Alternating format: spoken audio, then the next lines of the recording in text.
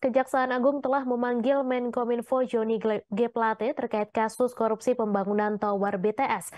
Menkominfo pun sudah hadir dalam pemeriksaan pada hari ini Rabu 17 Mei. Pemeriksaan hari ini dilakukan untuk meminta klarifikasi dari Joni G. Plate terkait kerugian negara yang fantastis dari kasus korupsi ini.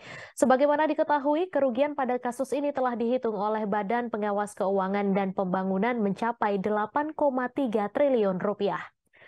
Dalam proyek ini, Joni G. Plate memang berperan sebagai pengguna anggaran. Oleh sebab itu, tim penyidik juga mengklarifikasi soal pencairan anggaran yang dipaksa mencapai 100%.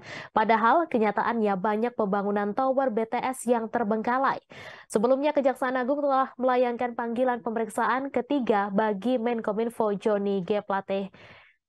Pemeriksaan ini merupakan yang ketiga kalinya, sebab sebelumnya Joni G. Plate telah diperiksa Kejaksaan Agung pada Selasa 14 Februari 2023 dan Rabu 15 Maret 2023. Pada pemeriksaan kedua, Joni G. Plate dicecar 26 pertanyaan oleh tim penyidik selama 6 jam.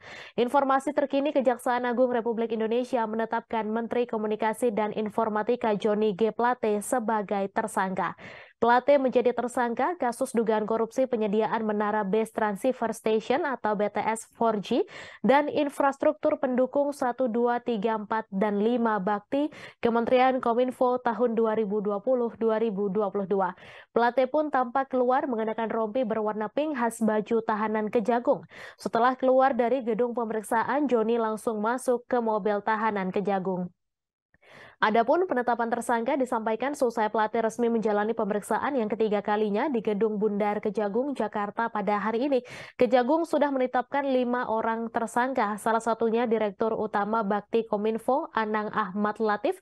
Sementara itu, keempat tersangka lainnya adalah Account Director of Integrated Account Department PT Huawei, Huawei Tech Investment, Mukti Ali, Komisaris PT Solitech Media Sinergi Irwan Hermawan, kemudian Direktur Utama PT Mora Telematika Indonesia Galubang Menak dan tenaga ahli Human Development Universitas Indonesia Yohan Suryanto.